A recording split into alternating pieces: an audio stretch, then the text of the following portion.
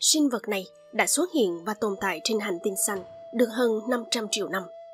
Chúng có trước cả khi những con khủng long xuất hiện và thậm chí là cả cây cối.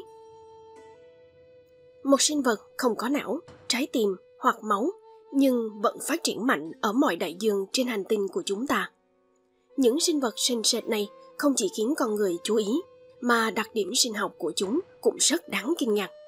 Video này sẽ đưa bạn đi sâu vào thế giới hấp dẫn của loài sứa.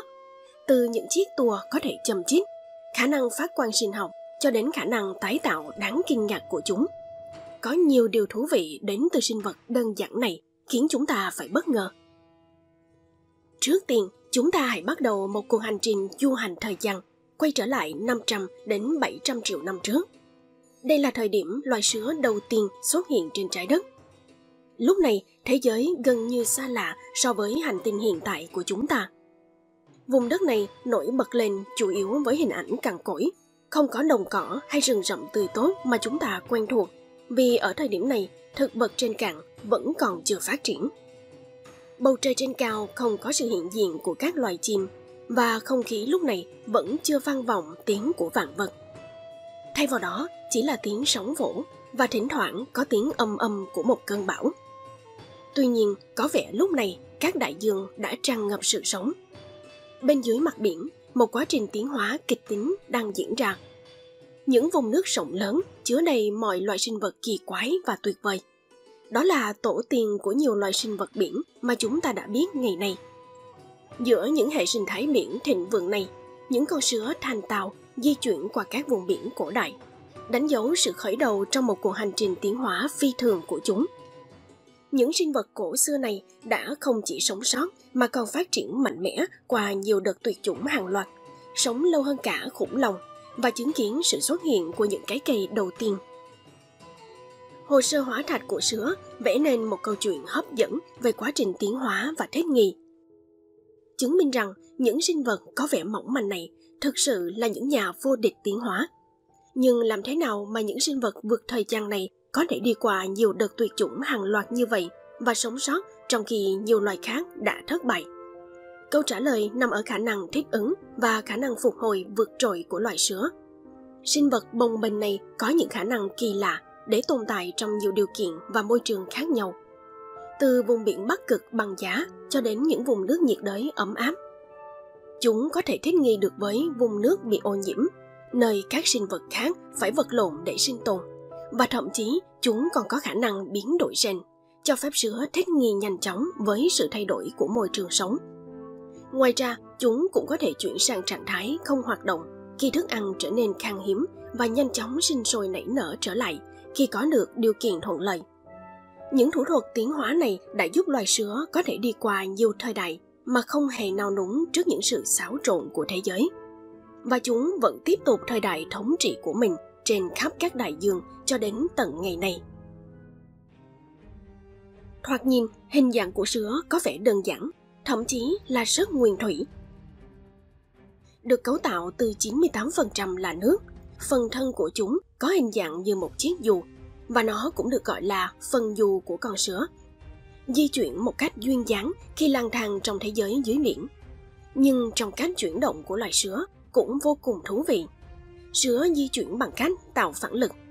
Với một lỗ miệng nằm phía dưới cơ thể, khi phần thân giống như chiếc dù phồng lên, nước biển được hút vào qua lỗ miệng này.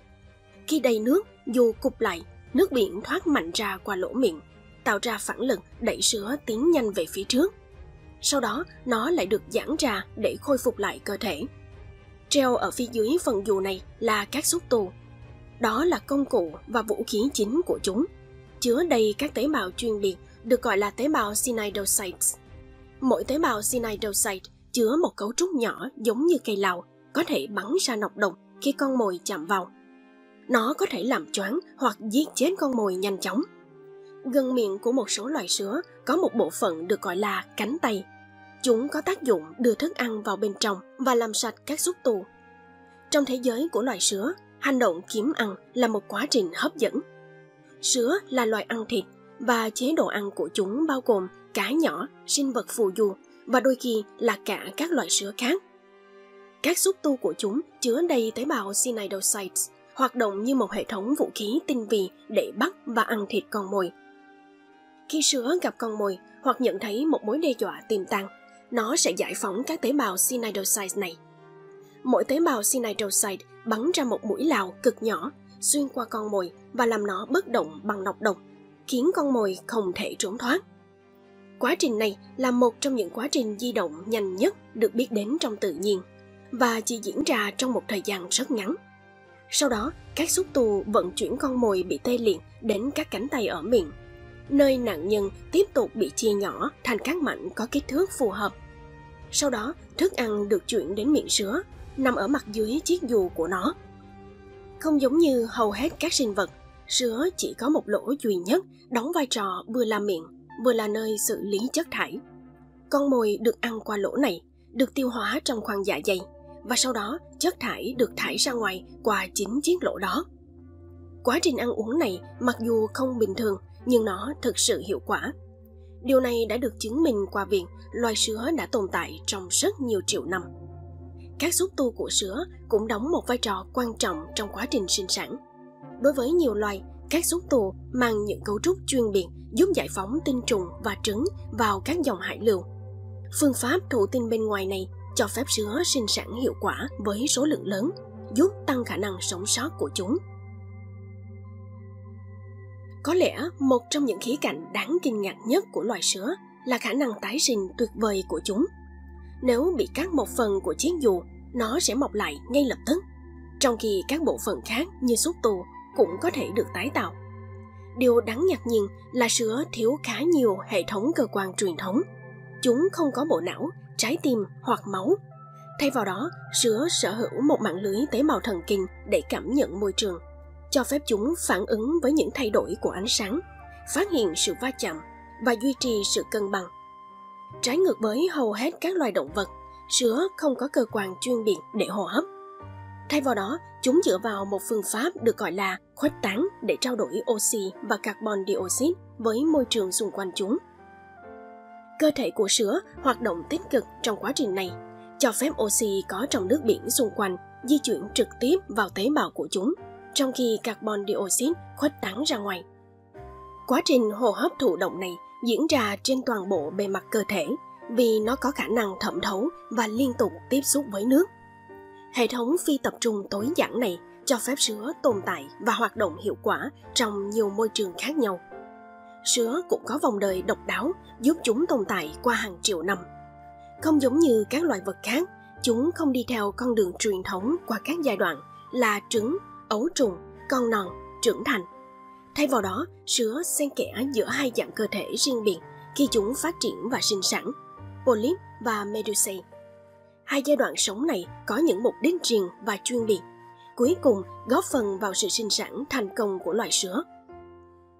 Vòng đời của sứa bắt đầu từ một ấu trùng nhỏ, khó được nhìn thấy, được gọi là planula. Chúng định cư dưới đáy biển và dần biến đổi thành polyp. Ở giai đoạn polyp, sứa bám vào bề mặt dưới đáy biển, hút chất dinh dưỡng từ vùng nước xung quanh và phát triển về kích thước. Polyp này giống như một con hải quỳ thu nhỏ. Sau đó, trải qua một quá trình kỳ diệu được gọi là quá trình biến đổi. Lúc này, nó tự phân chia thành nhiều con sứa nhỏ xếp chồng lên nhau. Sau đó, mỗi con sẽ tự tách ra, trôi lên đại dương rộng lớn để bắt đầu cuộc sống như một con sứa trưởng thành, hay còn được gọi là Medusae. Lúc này, chúng đã là hình dạng mà chúng ta quen thuộc. Ở giai đoạn Medusae này, loài sứa đã có thể sinh sản và phân tán khắp các khu vực của đại dương một cách dễ dàng một trong những đặc điểm đáng kinh ngạc nhất của một số loài sứa là khả năng chúng có thể đạt được sự bất tử. Triceratops dorni được mệnh danh là loài sứa bất tử. Nó đã phát triển một cơ chế sinh tồn đáng kinh ngạc để thách thức cái chết. Khi đối mặt với mối đe dọa hoặc thiệt hại nghiêm trọng, con vật có kích thước nhỏ bé này có thể đưa các tế bào của nó trở lại dạng ban đầu ở giai đoạn polyp và bắt đầu lại vòng đời của nó. Một cú đảo ngược thời gian ấn tượng từ một Medusa trưởng thành đã biến đổi thành một u năng giống một đống màu sau đó phát triển thành một tập đoàn polyp vượt qua cái chết một cách hiệu quả và đạt được sự bất tử sinh học quá trình tái sinh đáng chú ý này có thể diễn ra vô số lần trong trường hợp chúng không bị ăn thịt bởi một loài săn mồi vượt trội nào đó. Điều đó khiến loài Turritopsis doni trở thành đối tượng nghiên cứu hấp dẫn của các nhà khoa học trên toàn thế giới. Ai cũng muốn biết được bí mật trường sinh mà loài sinh vật này đang che giấu. Mặc dù sứa không được biết đến với khả năng bơi lội xuất sắc, nhưng chúng lại là những vị lữ khách phổ biến của biển khơi.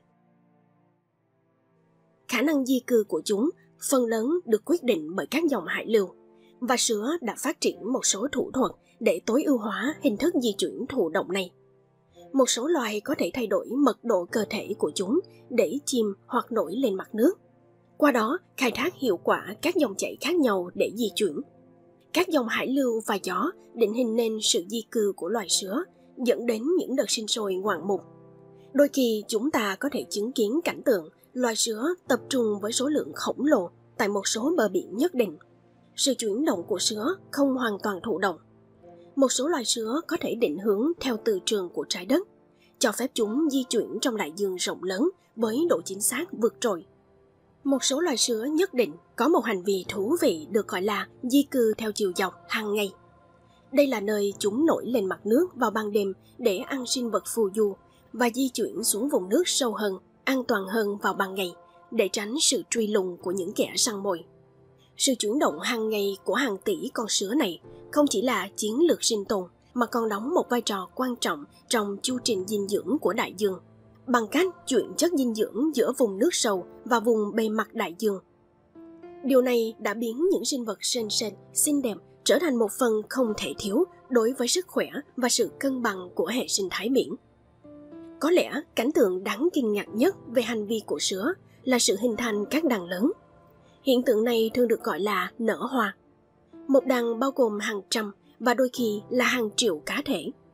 Hiện tượng nở hoa này có thể kéo dài trên quy mô cả dặm biển, biến các khu vực của đại dương trở thành một biển hoa đầy mê hoặc, rung động với những cơ thể sền sệt.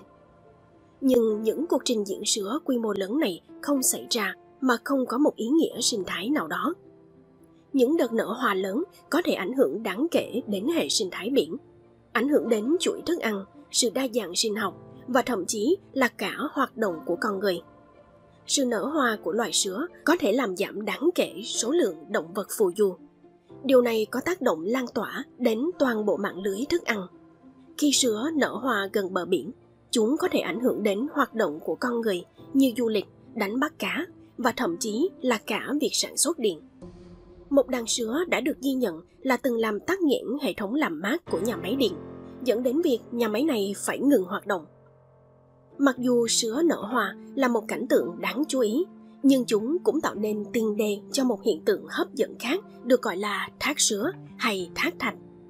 Đó là một sự kiện mà trong đó một số lượng lớn sứa chìm xuống đáy biển sau khi chết, tạo ra một nguồn thức ăn dồi dào, đột ngột cho các sinh vật ở biển sâu cơ thể sứa chìm xuống mang đến nguồn lợi lớn cho nhiều dạng sống ở biển sâu. Những cư dân ở vùng nước tối tăm này đã dựa vào những bữa tiệc rời rạc như vậy để duy trì cuộc sống của chúng trong môi trường khan hiếm thức ăn. Khi bạn khám phá sâu hơn về thế giới của loài sứa, bạn sẽ phát hiện ra rằng loài động vật này cũng sở hữu một thứ ánh sáng ma thuật, thứ mà các chuyên gia gọi là phát quang sinh học những loài sứa này được tìm thấy ở môi trường sống nhiệt đới và biển sâu. Cơ thể chúng chứa một phân tử protein đặc biệt được gọi là luciferin. Khi kết hợp với oxy sẽ tạo ra ánh sáng phát quang tuyệt đẹp. Mục đích tạo ra ánh sáng của chúng vẫn còn là một điều bí ẩn, nhưng các nhà khoa học tin rằng nó có thể được sử dụng như một hình thức giao tiếp và khiến những kẻ săn mồi giật mình và bối rối hoặc để dụ dỗ những con mồi tò mò cho dù vì bất cứ lý do gì, việc nhìn thấy những con sứa phát quang sinh học này hoạt động thực sự là một điều kỳ diệu. Biến đổi khí hậu đang có những tác động sâu sắc đến hệ sinh thái biển và một sinh vật có vẻ phát triển mạnh trong những điều kiện thay đổi này chính là loài sứa. Nhiệt độ đại dương tăng lên do biến đổi khí hậu tạo điều kiện lý tưởng cho một số loài sứa phát triển nhiệt độ tăng lên sẽ đẩy nhanh quá trình trao đổi chất của chúng, cho phép chúng ăn được nhiều và phát triển nhanh hơn, đồng thời cũng rút ngắn chu kỳ sinh sản của chúng, dẫn đến sự bùng nổ về mặt quần thể. Ngoài ra, không giống như nhiều sinh vật khác, khi nồng độ carbon dioxide cao hơn do hậu quả của sự biến đổi khí hậu, dẫn đến hiện tượng axit hóa đại dương lại ít hoặc không ảnh hưởng gì đến sữa. Những khả năng này mang đến cho chúng lợi thế cạnh tranh và có thể dẫn đến sự thay đổi về đa dạng sinh học biển. Với quần thể sứa có khả năng vượt xa sự phát triển của các loài săn mồi và đối thủ cạnh tranh. Mặc dù hiện tượng sứa nở hoa do biến đổi khí hậu này có vẻ hấp dẫn, nhưng chúng cũng có thể gây ra những hậu quả sinh thái đáng kể. Sự thống trị của sứa ở quy mô lớn có thể phá vỡ mạng lưới thức ăn, ảnh hưởng đến trữ lượng cá thương mại và dẫn đến sự tái cấu trúc hệ sinh thái biển. Con người và sứa có mối quan hệ phức tạp. Mặc dù sứa thường được coi là mối phiền toái hay thậm chí là mối nguy hiểm do các tế bào đốt của chúng, nhưng chúng cũng có ý nghĩa quan trọng về mặt văn hóa, khoa học và sinh thái đối với con người. Chúng đã là nguồn cảm hứng và niềm đam mê trong nhiều thế kỷ. Những sinh vật đầy mê hoặc này đã giữ một vị trí quan trọng trong trí tưởng tượng văn hóa của chúng ta truyền cảm hứng cho mọi thứ từ nghệ thuật thần thoại đến trí tò mò khoa học. Giá trị của loài sứa cũng được thể hiện trong các ngành y học sinh học. Với các protein huỳnh quang của chúng mang đến những đột phá trong y tế hay nọc độc của chúng cũng đang được nghiên cứu để tạo ra các loại thuốc tiềm năng. Sứa sở hữu một sức hấp dẫn khó cưỡng khiến chúng ta mê mẩn và say đắm. Sự quyến rũ bí ẩn và vòng đời đầy mê hoặc của chúng đã kích thích sự tò mò của nhiều người, khơi dậy cảm hứng khám phá. Nó cũng đóng vai trò như một lời nhắc nhở sâu sắc về vẻ đẹp mỹ miều và sức mạnh đáng kinh ngạc của tự nhiên. Mặc dù chúng là một trong những sinh vật đơn giản nhất trong đại dương của chúng ta, nhưng tác động của chúng đến sự cân bằng mong manh của sinh vật biển là rất sâu sắc. Điều này đã khiến chúng trở thành một phần vô giá trong đại dương của hành tinh xanh. Một điều đáng nhắc đến nữa là sứa đã sống sót qua mọi sự kiện tuyệt chủng lớn trong quá trình nhiều triệu năm của trái đất. Khả năng phục hồi và thích ứng của chúng cho phép sứa phát triển mạnh mẽ trong điều kiện môi trường thay đổi liên tục. Khi chúng ta nhìn vào độ sâu liên tục thay đổi của các đại dương, có lẽ một thực tế đã được con người lờ mờ nhận ra. Đó là một tương lai mà sứa lại tiếp tục sống lâu hơn con người chúng ta và tiếp tục vỡ ba lê duyên dáng của chúng trong rất nhiều triệu năm nữa. Và bạn có cảm nhận gì về loài sinh vật đặc biệt này? Để lại ý kiến của bạn dưới phần bình luận nhé!